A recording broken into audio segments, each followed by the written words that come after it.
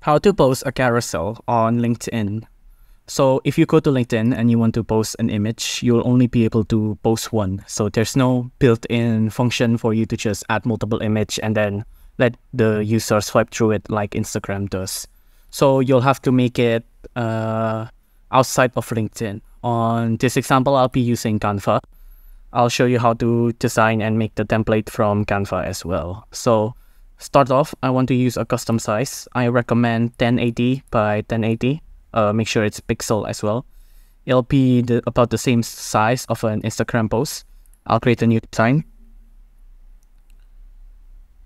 Uh, of course, Canva have many pre-made templates for you to use. I'm just going to put in whatever. This is just an example anyways. Butter croissant. Uh, one more for good sake. Fun fact, why not? Now, once you've designed your own carousel here, this is just an example. Again, it's just a template. You'll need to actually design your stuff here. Once you've made it all and you're happy with the result, make sure go to share up here. And you'd want to download this, but don't download it as PNG. Download it as PDF standard. Let's download that you can also design this on others editing website if you have the know-how, but Canva is the easiest for me, so I'll be showing you that instead.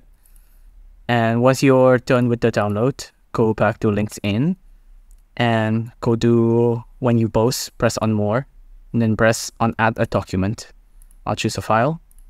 It'll be the design I just made earlier. And the document title can be whatever, but well, uh, put it as what is the thing on your carousel is. So if your carousel is like job experience, put it as job experience. But I'm just going to type in carousel. Done. Post. And there you go. You have a carousel link post now on LinkedIn. So that is how you have a you post a carousel post on LinkedIn. It's as easy as that.